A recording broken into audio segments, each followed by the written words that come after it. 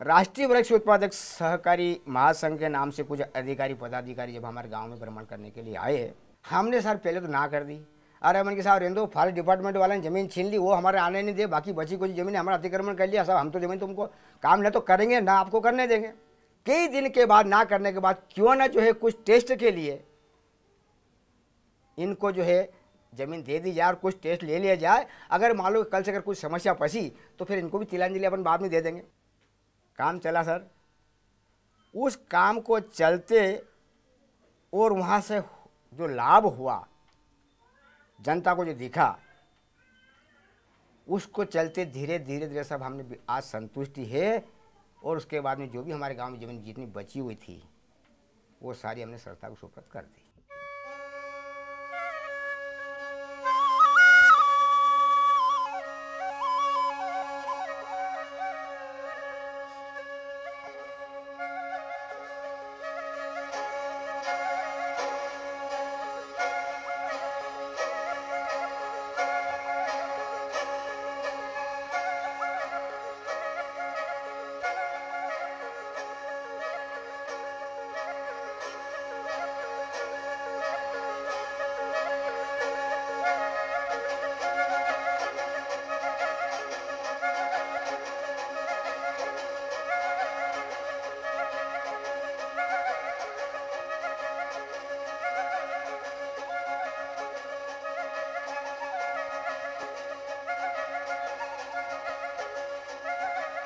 It took about 50 years to convert the Aravali hill ranges into degraded land, barren slope after slope, where forests had become just a memory.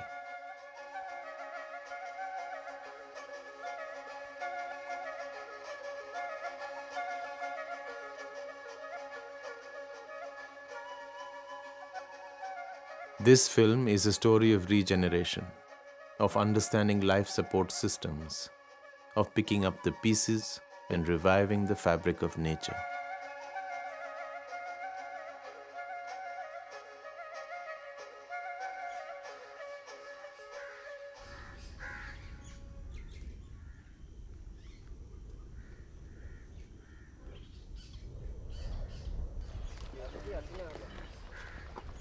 For life to begin again, the hill slopes had to be reforested.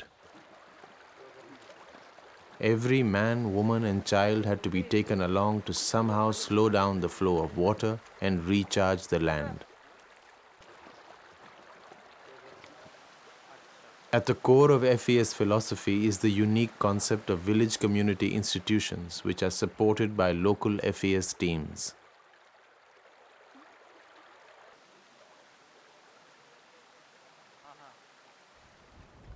अभी जो बणु खुला कांकड़ में भी यूँ राग की गोवाड़पल्ली भी इतनी बात कर ली कि भाई मैं बणु तुम्हारा का मम्मी ने कोई छाले ने छोड़े ऊपर।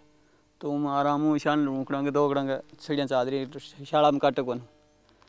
यहाँ की नंगर आके लुगे भी कोई मोड़ी वोड़ी ले जाओ तो अभी गीला लकड़िया काट न लाओ फूकी हो तो ले रहा हो। ले जो फाची धीरे धीरे या रोकड़ा की ये रोज Communities must be able to see a future for themselves in the project of regeneration.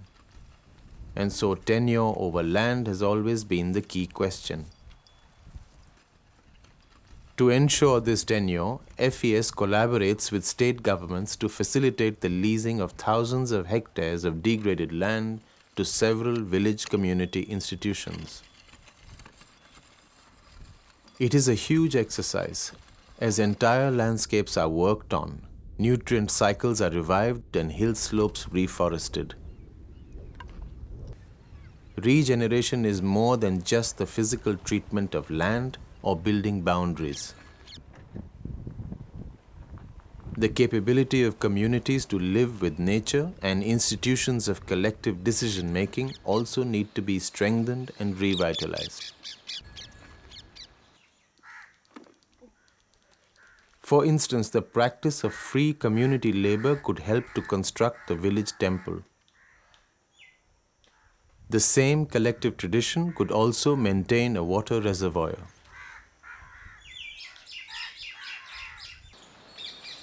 हताई पे कोई डिसीजन लिए जाते हैं इस हताई पर या इस इंस्टीट्यूशंस में जो दूसरे जाति के लोग जिसमें कॉन्फ्लिक्ट्स कॉन्फ्लिक्टिंग राय हैं और कॉन्फ्लिक्ट्स रह, रहे हैं गांव में वो इस तरीके के आते हैं। कहीं पर ऐसे भी आया कि जो ठाकुर कभी भी गाँव के साथ बैठते नहीं थे, वो ठाकुर पहली बार आके बैठे हैं और आके बैठ के उसमें अपने इंटरेस्ट से काम करके और खुद वो बोलते हैं कि मेरी इतनी ज़मीन है, उसमें काफ़ी मेरे जानवर के लिए चारा है तो ये इस बार जो चारा कटेगी उसमें मैं नहीं लूँगा। तो हम ये मानते हैं कि जैसे जैसे हम काम करते जा रहे हैं, करते जा रहे हैं तो एक समय आता है जबकि सारे गाँव वाले एक दूसरे के बारे में सोचना और समझने की स्थिति रखते हैं। Over time, issues of social injustice and inequity are also addressed within these community institutions. वीके लारे पे आदमी वेला तो माँ के तो बोल न बात वास्ते अम्मा के पेड़ा मागे मागे यही सारा पूरा गाँव मालवे जाता है इतना सब। कोई गाँव जातो। आ कोई गाँव जातो जी आ कोई एक कंटूर भरे जो तो माँ कूड़ा में पानी है सारा आ कोई तालाब का तरह तो पानी डूब जावा कंटूरा में खाडा कीता जब मैं सारो ही है जावा तो कंटूरा में पानी मरे जो धरती में पानी है जो माँ कूड़ा में पानी है ये नहीं तो बेर निकल जातो सब कंटूर लुगाए खोजा चेक डैम लुगाए बनाई म- अपना बारनाई संस्था लुगाए बनाई एक खोजे रोंगड़ा लुगाए रोपिया। Many questions emerge from every barren landscape. Who is responsible? What is the extent of this destruction? Can we get back what we have lost? What could be that way forward?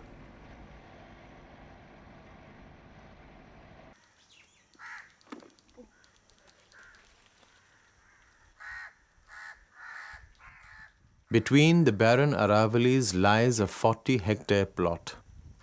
Five years of protection by the Rabari community of Doda Ganesh village and a small forest now stands. Slowly, the green cover has begun to climb up the hill slopes.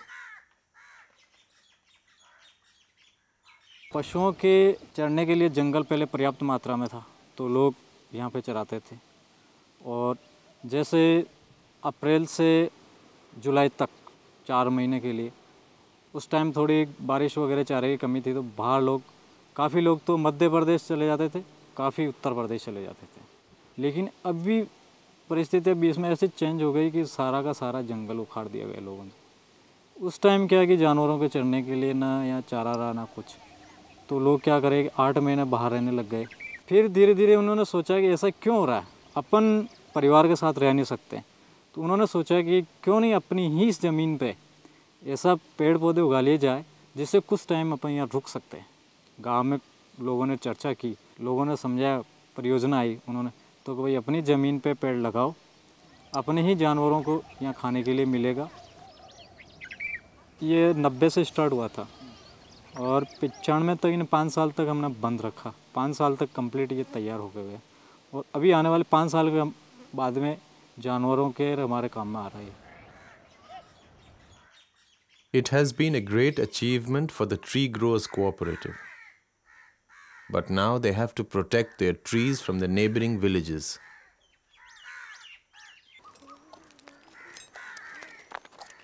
The project of regeneration must therefore have foresight and the capability to address conflict.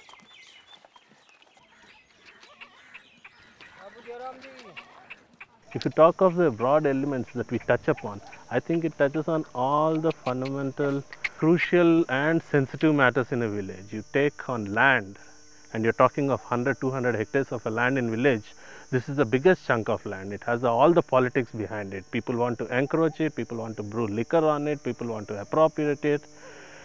The, the, the big people see it as commercial plantations, the poor people see it as their livelihoods, the women see it as shrubs we wish to have to put something into their wood stoves. If you do not consciously get into all the principles of the village institutions, whether everyone is included, if you do not get into procedures like are people being consulted, are you going to actually the poor lane in the village and sitting with them and actually listening to them? Are you just meeting the big person? And if you get down to this kind of auction mechanisms or no auction mechanisms, each would determine the character of your uh, intervention in the village. For the poor, the commons are the main source for survival. For an outsider, the commons are difficult to understand. The commons are neither private nor public, neither commercial farm nor communist collective, neither business firm nor government property. It is not closed, but is also not open to all. It provides a political space where the power of any one group or individual is held in check. When communities are broken, local systems of shared responsibilities are undermined, and authority is usurped by a subgroup or an outsider. When production for an external market takes precedence over subsistence, and when profit becomes the only operating social value. Then common property regimes break down and become open access regimes, which eventually deteriorate into barren landscapes like in the Agar region of Madhya Pradesh.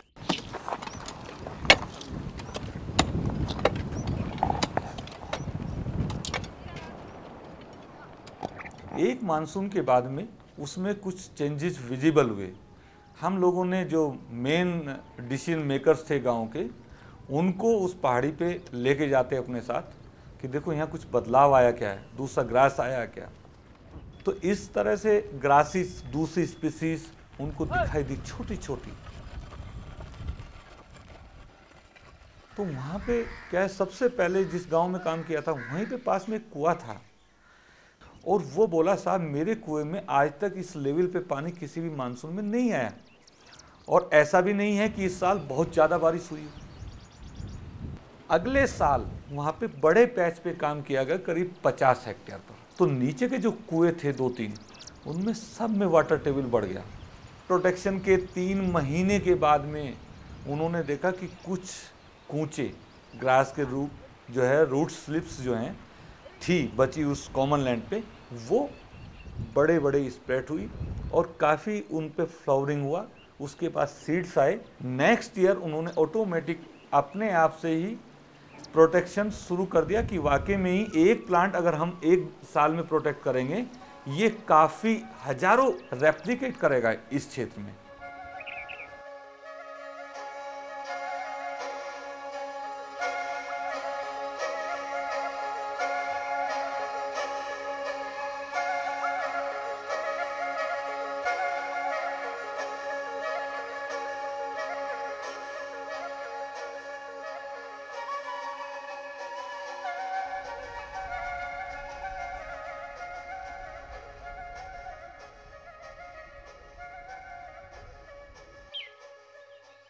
FES teams have developed local volunteers to ensure the participation of multiple communities.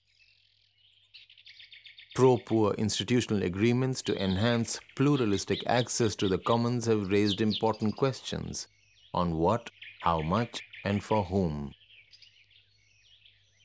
Federations of village institutions have begun resolving issues of larger concerns. Today, for instance, the main agenda is the migrating herds from Rajasthan. हमारे यहाँ नहीं है। जब forest विभाग उनको देता है चिट्ठी काटता है उनसे पैसा लेता है। जब फॉरेस्ट की जो बड़े बड़े प्लाट है उनमें जाने का है मतलब यहाँ चराना बिल्कुल भी नहीं है और ना चरा सकते हो। हमेशा उनको एक मार्ग रहे ताकि इधर उधर न भटकते हुए निश्चित स्थान पे उनको इन गाँवों से जैसे तैंतीस गाँव या? पैंतीस गाँव या जितना भी गाँव है इन गाँवों को छेक करके ये आगे चराते हुए चले जाए।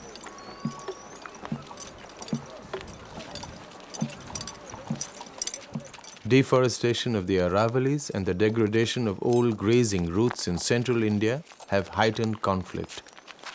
Local communities are now trying to protect their lands from the migrating herds.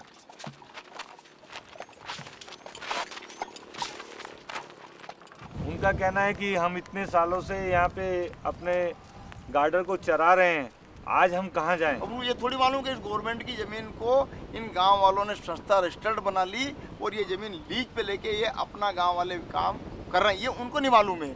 अब उनको मालूम करने के लिए अपने को प्रयास करना पड़ेगा और उनके तक बात पहुंचाना पड़ेगी, दिमाग में समझाना पड़ेगा।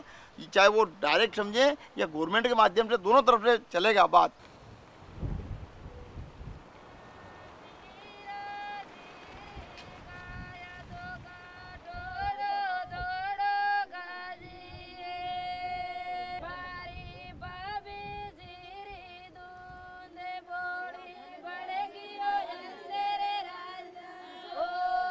A resolution has now been arrived at with the shepherd communities in collaboration with the district administration for the delineation of a fixed route for the shepherds. This arrangement has been operational for the last 10 years.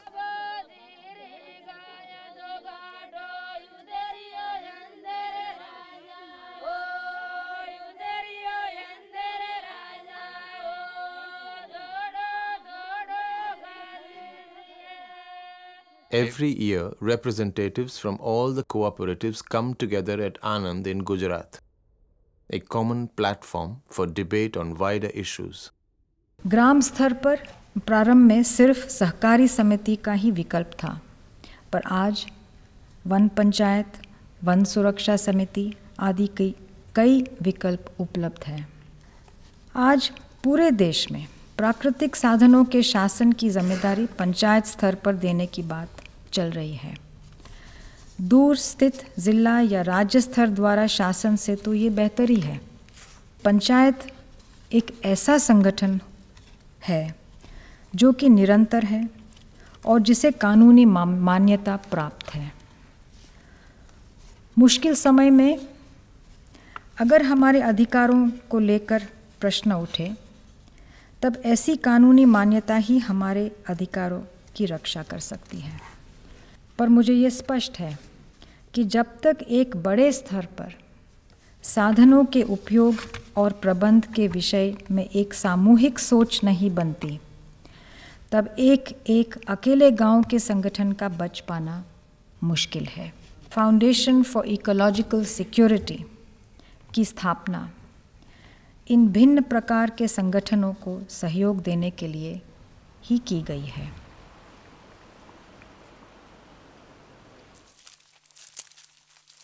Strengthening local governance now has even greater significance, especially in the context of programs like the National Rural Employment Guarantee Act and the Forest Rights Act. Public expenditure needs to be channelized towards ecological restoration, strengthening the democratization of local self-governance, and to partly address distributive justice.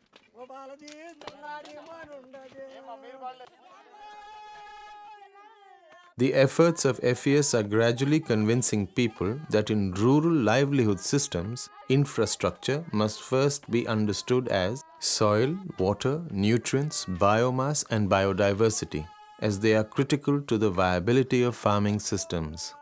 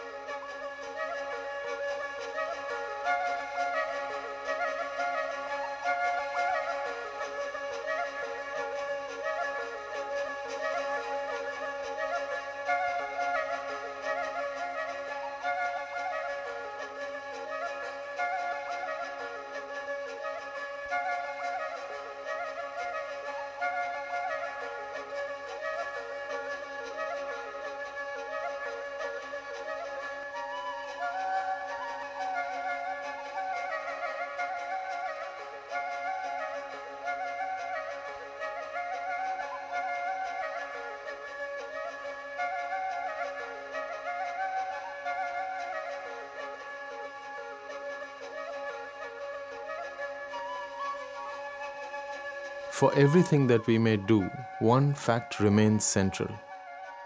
The forests have to be protected. Protected from all. From the poverty of the poor, from the profit multiplication of corporations, from timber mafias, natural fires, and sometimes even the next village across the slope. This film is a call to secure nature's web of life the very basis of our existence.